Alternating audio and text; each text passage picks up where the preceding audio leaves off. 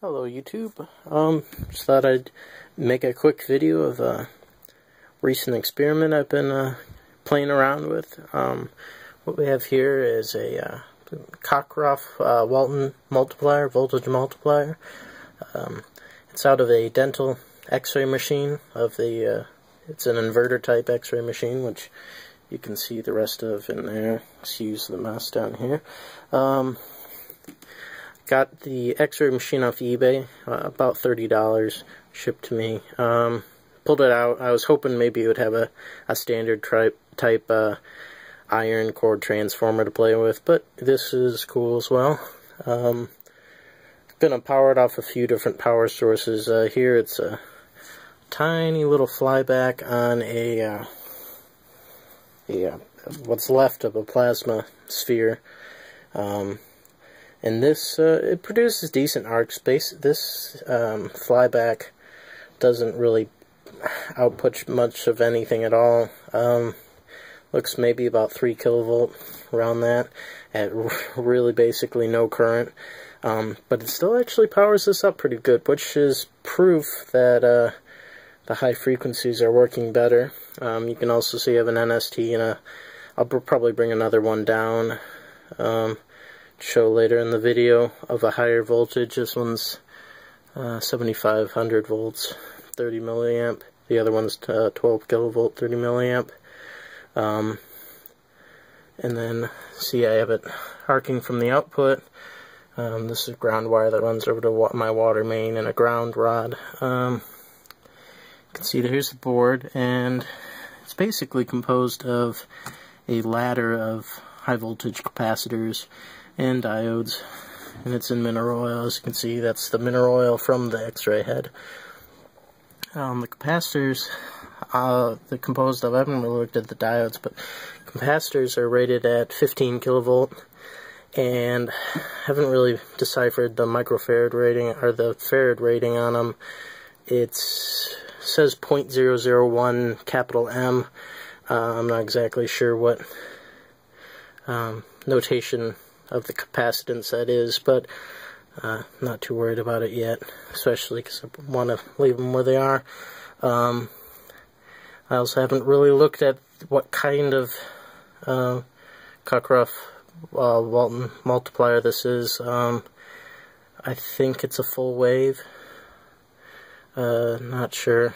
Um, I'm not sure how many stages either. I thought it was eight trying to count, but looks the way some of the uh, capacitors are paralleled and stuff like that. I, I, can't exactly tell, but maybe I'll figure it out later. Um, so, yeah, you can see the, the board originally had a small transformer there where the square is right there. Um, it was a weird kind of transformer. It didn't run on mains. I assume the control box for the original X-ray head uh, probably had uh, as uh, the driver circuitry in that, and it you know provided the high frequency. And then it was probably something similar to a flyback transformer, which powered this. Um, so I couldn't really reuse that, so I need to power it with whatever else I can use. Um, uh, maybe I'll bring that transformer down to show you later. Um, so yeah, I guess I'll quit yakking and I'll get some footage here of it fired up and arcing. It's pretty cool. Okay, let me show you real quick um, what it looks like arcing from this flyback uh, plasma globe driver. Um, I don't know if you can hear it right now, but there's some hiss from Corona. It's probably too faint for the microphone to pick up though, but let's move it a little closer.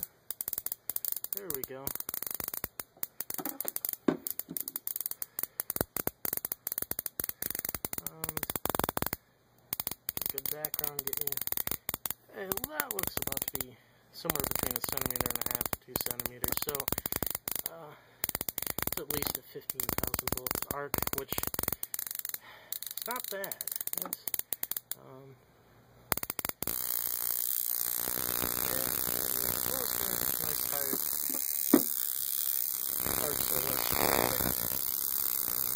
you can see that little thing. It does run it pretty well. Especially compared to the you'll see that. This, at, you know, um, I guess because I can hear the tone it creates, it's probably somewhere around maybe 17 kilohertz. Um, and from what I've heard, I believe that's a lot more efficient in these voltage multipliers. Um, the 60 hertz or 120 maybe with the split phase center tap. I'm not sure how that works, uh, but that's not nearly as efficient at those frequencies of,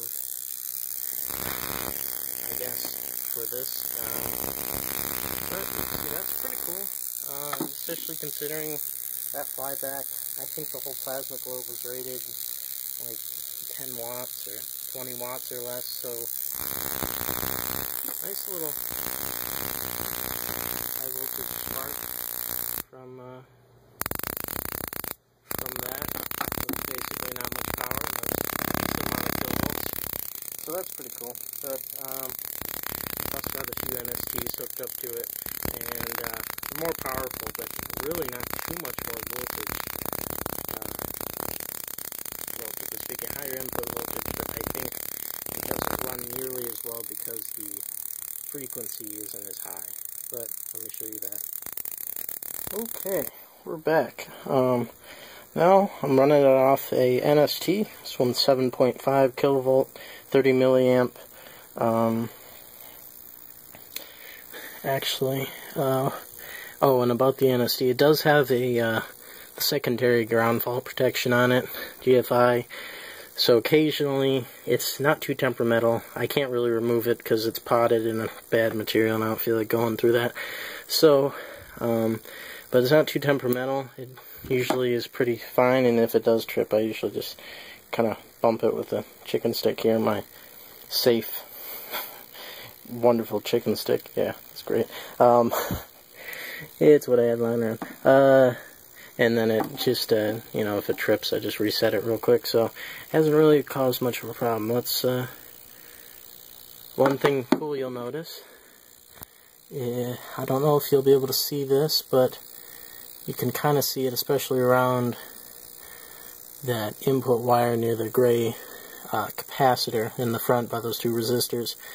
Um, there actually is, uh, I think, eddy currents or something, some of that in the uh, in the mineral oil because of the amount of uh, voltage that's flowing through it. So it's actually creating little vortices in the mineral oil, which is kind of cool. But, alright, let's get to the arcs.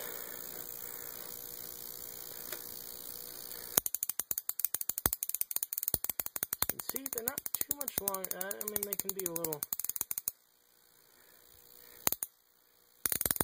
But, oh, maybe a little bit longer than the ones created by that little, low voltage flyback, you know, 3 kilovolt flyback.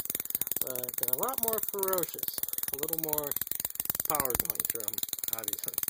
Um, and it's pretty cool. Low, less frequent, but that's a little closer. Oop tripped my GF. There we go. Making my wire here. Phone's making noises, sorry about that.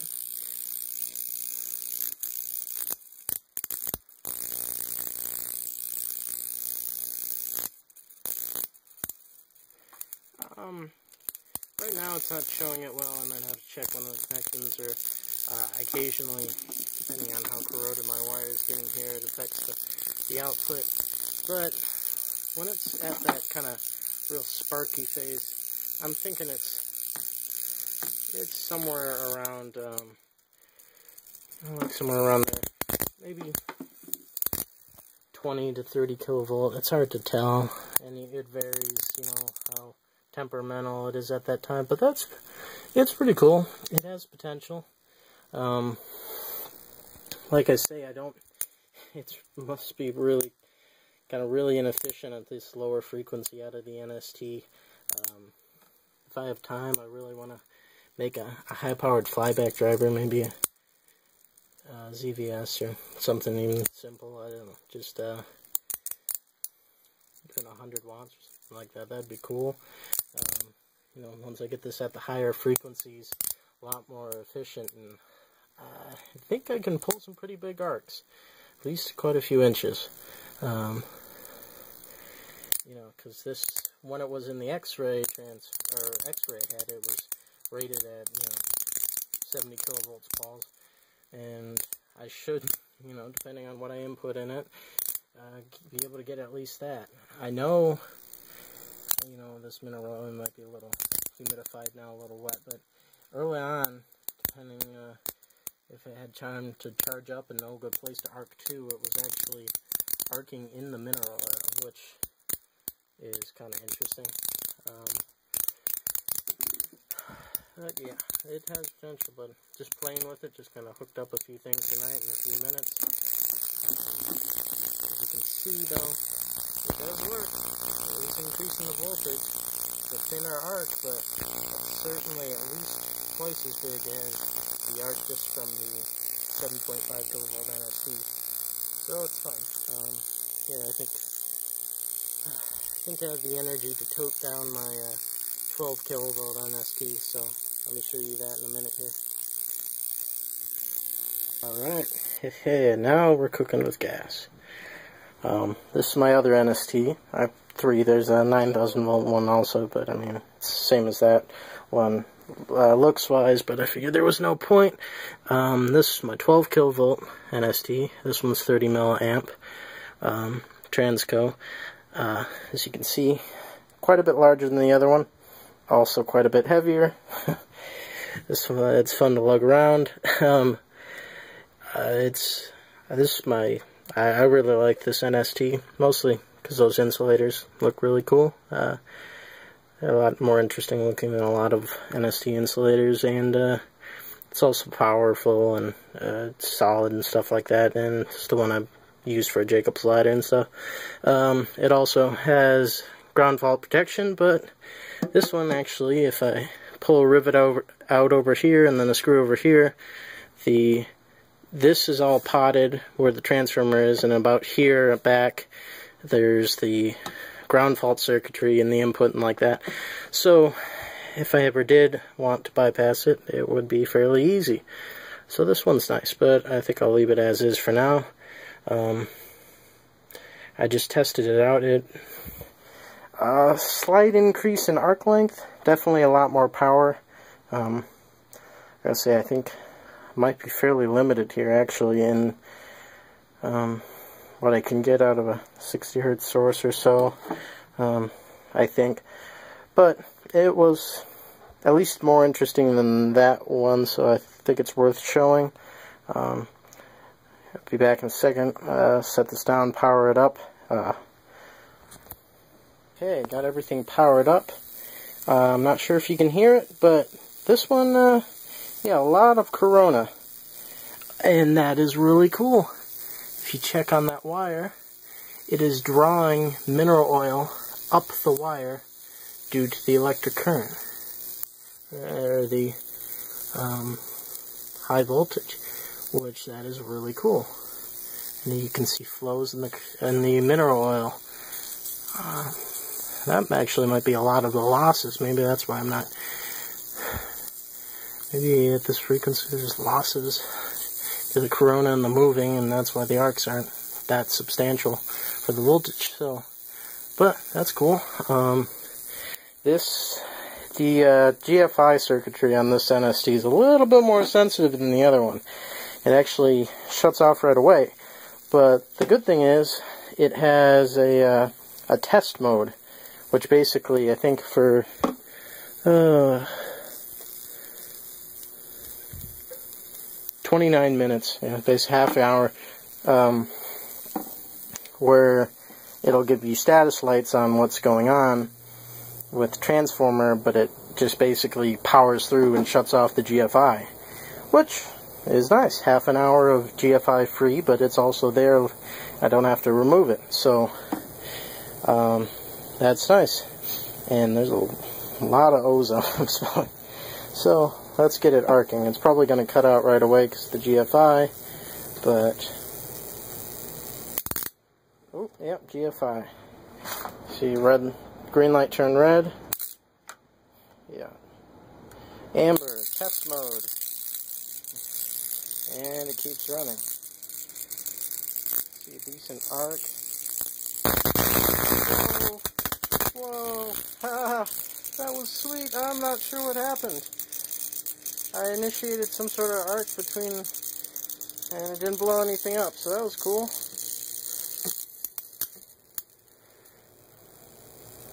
Ah, uh, maybe somehow because this is split phase or something, it's shitting, but uh, yeah, there's quite a few kilovolts between that.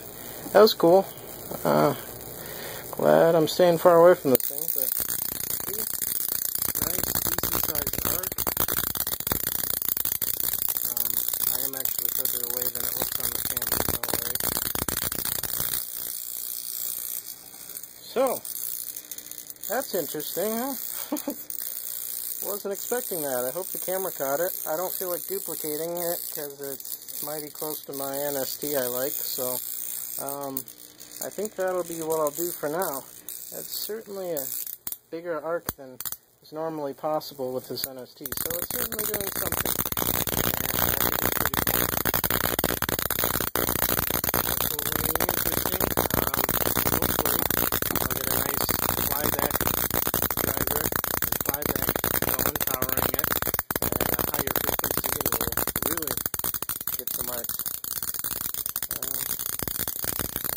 Okay, so that was fun. Um, definitely have to be careful with this thing. Uh, I don't necessarily think it would kill me too easily. The NST, I know, probably could. Um, everything can. I don't know what kind of currents we're getting on that DC output. Um, because, you know, you're worried because there's capacitors, you know, you can get the high current burst. Uh, and the NST's danger. And whatever was happening between those two wires right off the NST was something interesting. Um, definitely treat this thing with respect, and I'll probably get a better chicken stick as well. Uh, actually, I believe my chicken stick with that valve on it, it's actually part of an air cannon. It's but it's a pretty long piece of PVC even with the metal on it. Uh, I believe that metal close enough there uh, was what um, bridge that gap enough to create the arc between those two wires. So, glad my hand was far away from it. Um, I also noticed, I played back some of the video real quick, uh, a lot of interference, I think, on the microphone from the uh, loudness of that arc. So, uh, I hope you can decipher what I said, even though I probably didn't say anything overly meaningful, kind of rambling. Uh, but if not, maybe I'll try to put some uh, annotation subtitles up to basically summarize what I said if you couldn't hear it over the arcing. Um, yeah, this will uh, this will be a fun project to work on um, carefully. uh, thanks for watching. Uh, if any of you who know, probably most of you know a lot more about this than I do, would like any uh, nice uh, comments or constructive criticism uh, or help on this or ideas, that would be much appreciated. Uh, thanks for sticking through it.